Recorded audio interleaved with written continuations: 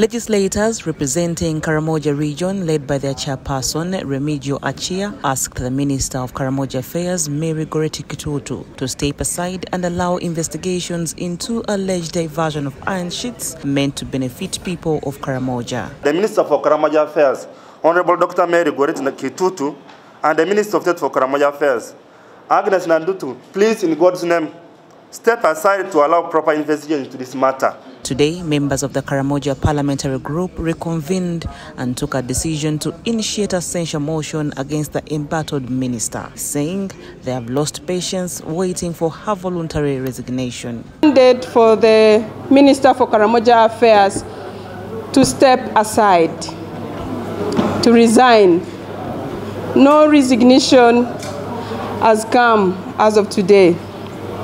Instead, what we saw was an explanation by the Prime Minister in a publication saying that uh, the government buys iron sheets for many ministries through affirmative action ministries. It was just an explanation. We have taken this noble decision to ensure that the Minister for Karamoja is censured based on the fact that she abused her office she diverted the resources that were meant for the vulnerable people in Karamoja. Moving under Article 118 of the Constitution, seven members of the Karamoja parliamentary group have signed a notice of motion copied to the Speaker of Parliament and Clerk to Parliament to censure the Minister for Karamoja Affairs on grounds of abuse of office and mismanagement of public resources. The grounds under which a minister can be censored to Two out of four requirements have been fulfilled by the minister. One is mismanagement, and the other is abuse of office. It is reason enough.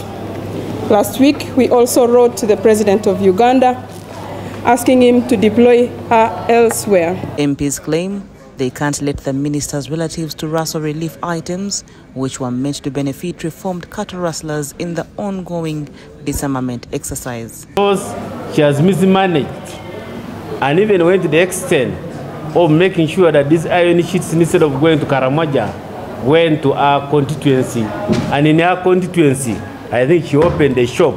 The minister and the rest that have a similar thought of surviving on the dead actually living on the dead realize that what they're doing is not right. The fire-spitting legislators believe their motion will attract the required signatures from legislators across board since corruption affects everyone. We do the oversight role.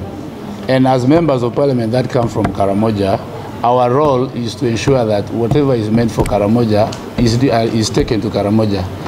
We are aware that, again, there is evidence that the Irish were found in a missing one. Report compiled by Fred Kajubi of the News at Parliament.